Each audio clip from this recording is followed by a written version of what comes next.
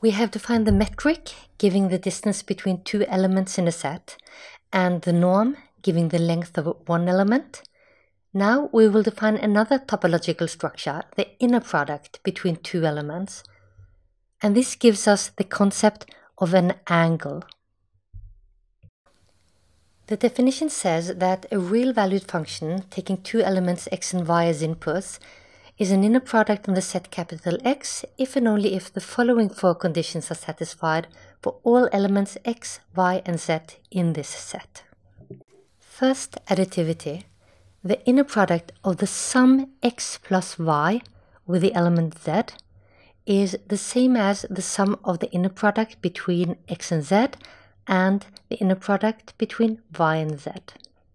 Then the function needs to have a homogeneity property, meaning that if we multiply the first element by an arbitrary scalar alpha, then the resulting inner product is identical to the inner product of the original elements, x and y, but scaled by the same scalar.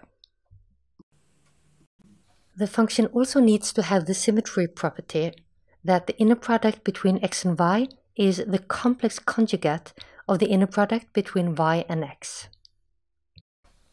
And finally, the inner product of an element with itself is strictly positive.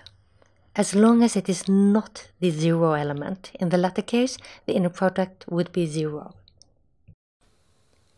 The inner product is a stronger topological structure than the norm and the metric, because if a set has an inner product, then this inner product also gives the set a norm, which again induces a metric, as we have seen earlier.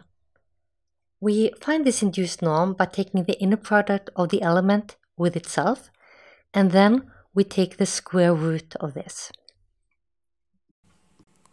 For this induced norm, we have the well-known inequality called Schwarz inequality or Cauchy-Schwarz inequality.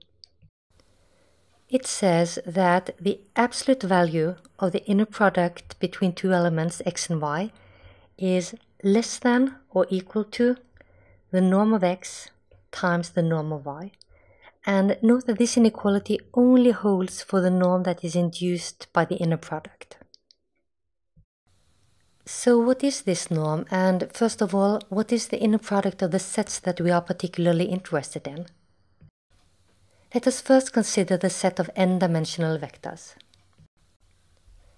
The inner product between two vectors x and y is defined as x transposed times y, which you know well. This is defined as the sum of all the vector elements multiplied together. We find the norm that the inner product induces by using the definition. On the previous page, we learned that the induced norm of x is found by first taking the inner product of x with itself and then taking the square root. And when we use the definition of the inner product, then we see that what we get is the Euclidean norm, the 2 norm. So the Schwarz inequality, which gives us a relationship between the inner product between two elements x and y and the norms, only holds for the Euclidean norm. Let us illustrate this in the two-dimensional case. Consider two elements in R2 and let us call these x, which has two elements x1 and x2, and y, which has elements y1 and y2. You may remember that we have this relationship for two-dimensional vectors. The inner product between two two-dimensional vectors x and y equals the Euclidean norm of x times the Euclidean norm of y times cosine of theta, where theta is the angle from the vector x to the vector y. This illustrates why we say that the inner product gives us the concept of an angle. Also, since the absolute value of cosine of theta always is smaller than or equal to 1, we see that this inequality agrees with Schwarz inequality. In particular, if we take the absolute value on both sides, like this, and since the norms are positive by definition, the absolute value of the right-hand side is given by the norms times the absolute value of cosine theta. This we know is always less than or equal to 1. In other words, the absolute value of the inner product between x and y is less than or equal to the norm of x times the norm of y, which is exactly the same as Schwarz inequality says. The inner product between two continuous real-valued functions f and g is defined as the integral from a to b, which is the interval on which the functions are defined, of the two functions multiplied together. And using the definition of the induced norm, inserting the definition of the inner product, we see that the induced norm is the L2 norm.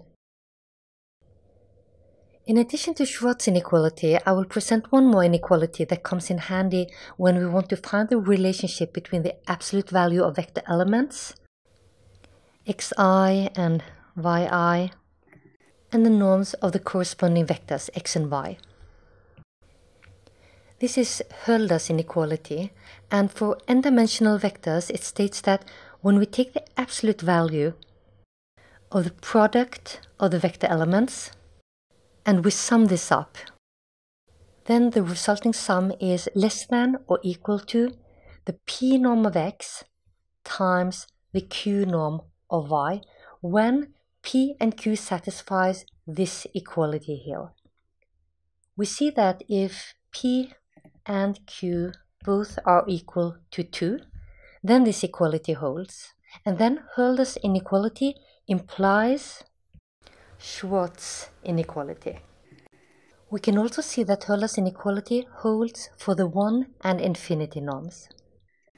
Hölder's inequality also holds for continuous real-valued functions.